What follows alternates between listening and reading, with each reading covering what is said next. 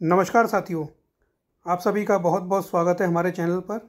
आज हम आपके सामने लेकर आए हैं Uttar Pradesh GK for all UP state exams का चैप्टर नंबर ट्वेल्व, जो कि है एनिमल हस्बेंड्री इन यूपी, यानी कि उत्तर प्रदेश में पशुपालन। तो ये जो चैप्टर नंबर ट्वेल्व है, इसको हम आज देखेंगे और ये हमारी इस लेक्चर सीरीज़ का लेक्चर नंबर फोर्टीन है, क्लास नंबर फोर्टीन है, लेकिन वहाँ पे हम डिस्कस क्या करेंगे? Chapter number twelve, animal husbandry in UP.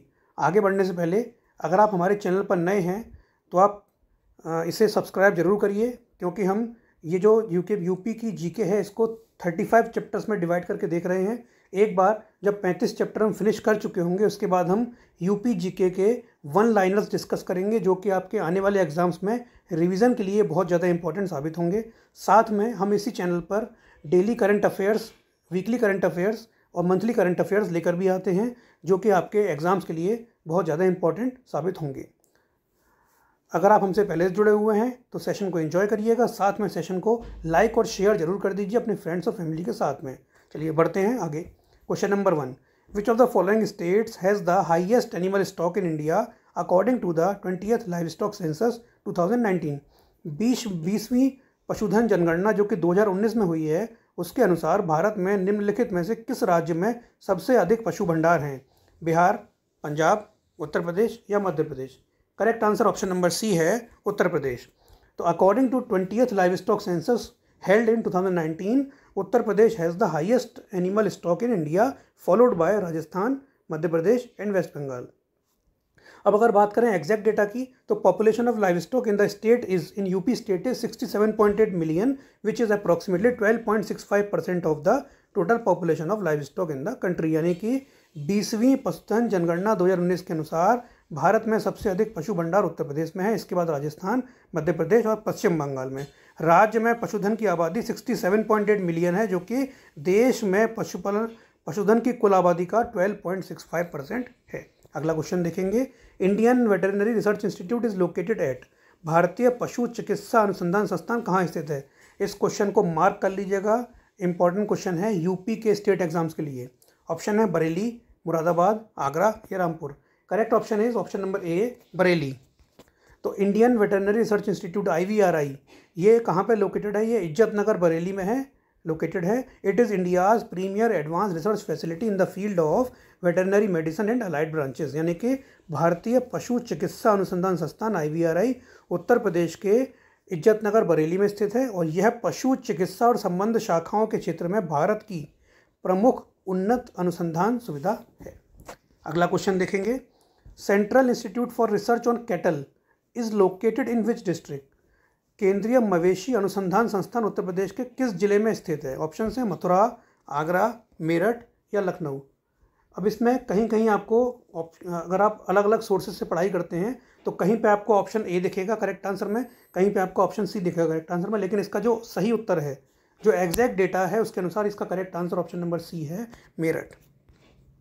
Central institute for research on cattle is located in Meerut district of Uttar Pradesh. अब बेसिकली ये जो इंस्टीट्यूट है, ये करता क्या है? It organises the training programme on scientific cattle management for sustainable dairy production and country has the largest number of cattle population and the highest production of milk ठीक है?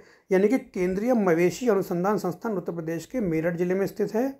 इस संस्थान का उद्देश्य है यह सतत डेयरी उत्पादन के लिए वैज्ञानिक मवेशी प्रबंधन पर प्रशिक्षण कार्यक्रम आयोजित करता है।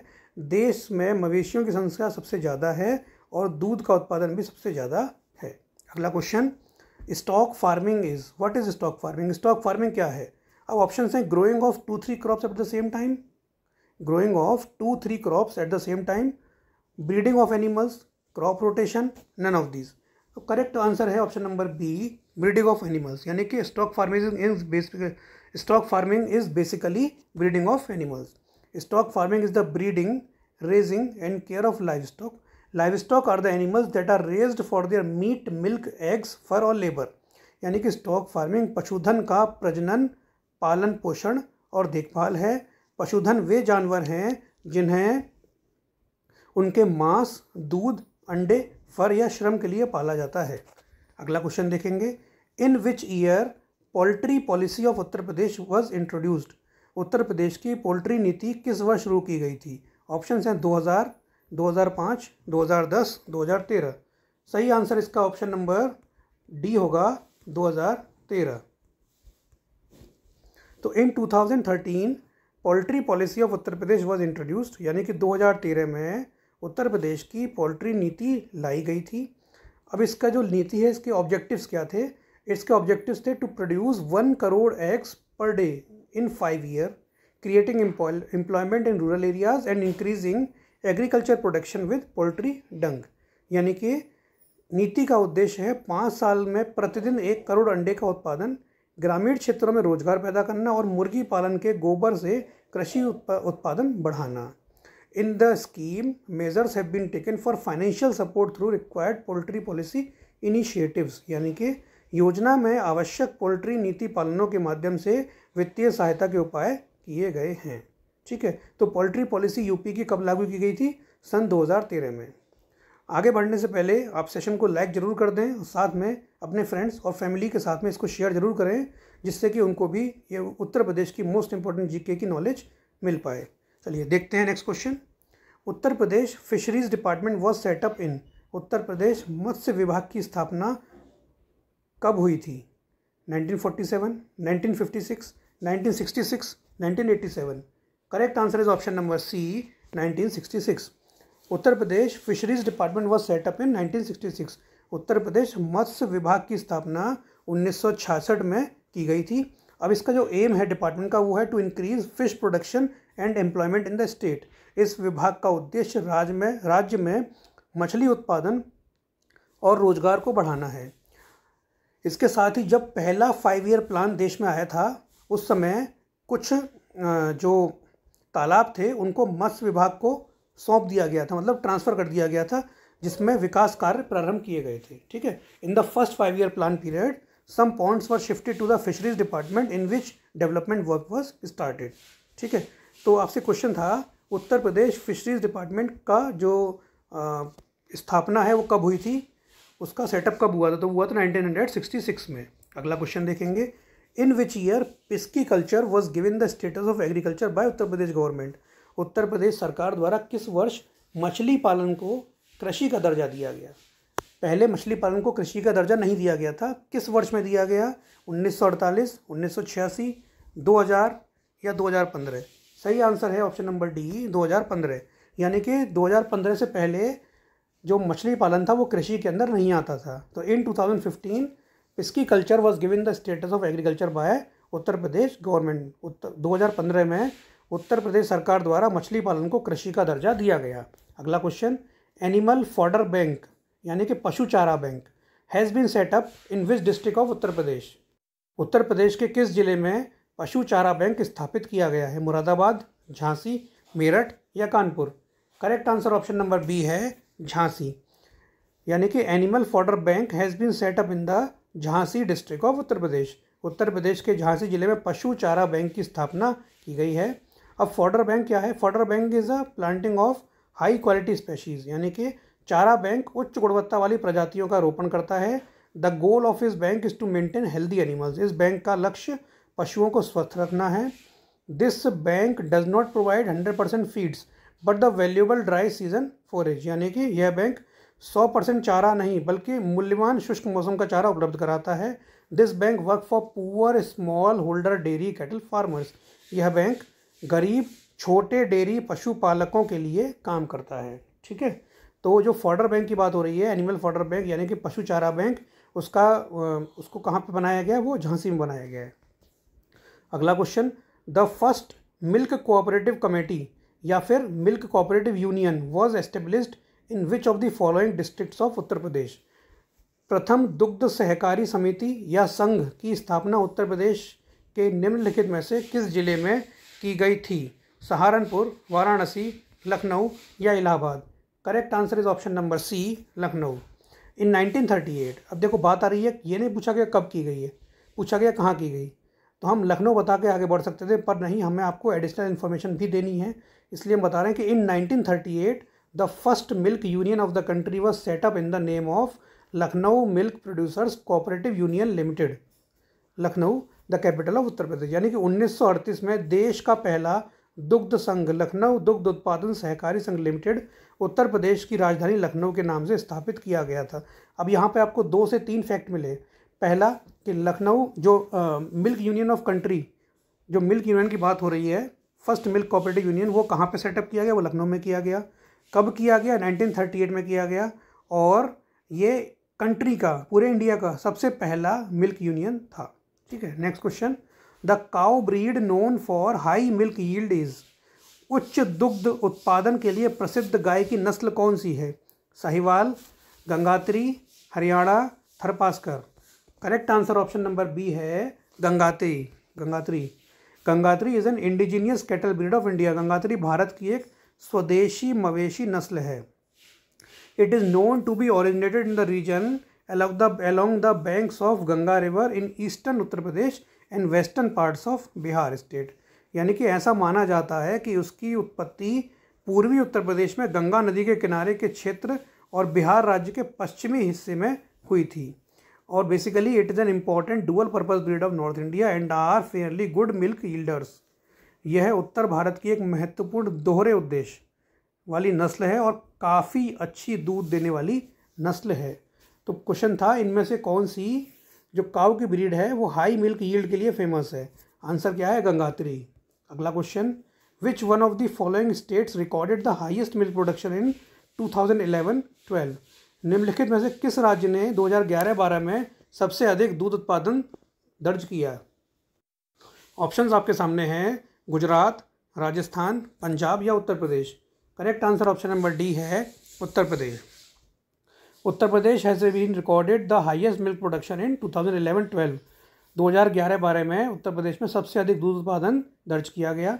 The economy of Uttar Pradesh is the fifth largest of all the states of India ये आपको अतिरिक्त जानकारी दी जा रही है कि उत्तर प्रदेश की जो अर्थव्यवस्था है, वो भारत के सभी राज्यों में पाँचवीं सबसे बड़ी अर्थव्यवस्था है।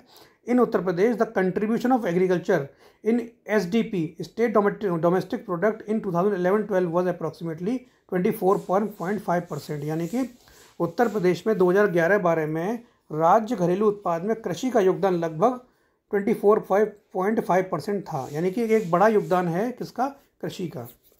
तो क्वेश्चन था कि इनमें से किस राज्य का जो मिल्क का प्रोडक्शन है, वो दो हज़ार ग्यारह बारह में सबसे अधिक था तो आंसर क्या है? उत्तर प्रदेश। अगला क्वेश्चन देखेंगे। द गोकुल पुरस्कार योजना is encouraging the production of Gokul पुरस्कार योजना किसके उत्पादन को प्रोत्साहित कर रही है?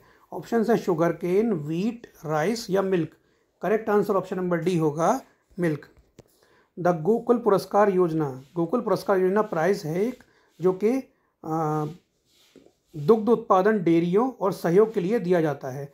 गोकुल पुरस्कार योजना prize is for milk production dairies and cooperation अब इस प्राइज़ को देता कौन है? It this prize is given by state government यह प्राइज़ यह राज्य सरकार द्वारा दिया जाता है और अंडर दिस स्कीम इस स्कीम के अंदर the person with the most production at the state level wins rupees two lakh while the second largest production wins rupees one point five lakh और winners at district level get rupees fifty one thousand each यानी कि इस योजना के तहत राज्य, पूरे राज्य में, पूरे राज्य में जो सबसे ज़्यादा जिसने मिल्क का प्रोडक्शन किया होगा, उसको दो लाख रुपए मिलते हैं।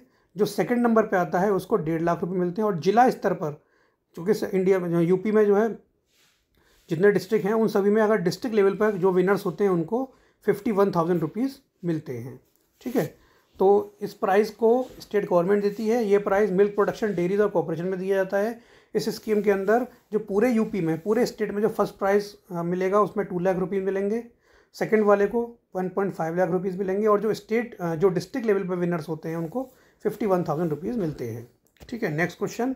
Match the following initiatives of the government with the year in which it was started. सरकार की निम्नलिखित पहलों का उस वर्ष से मिलान करें जिसमें इसे शुरू किया गया था।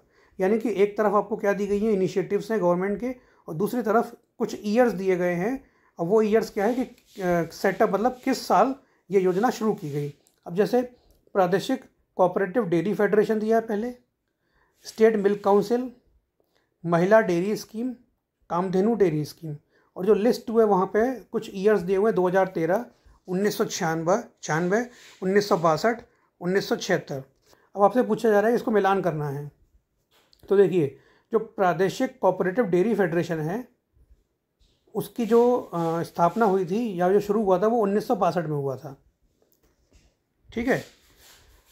साथ में स्टेट मिल्क काउंसिल 1976 महिला dairy scheme 1996 Kamdhenu dairy scheme 2013 तो जो एग्जैक्ट मैच है, वो ऑप्शन नंबर सी में दिया हुआ है आपको।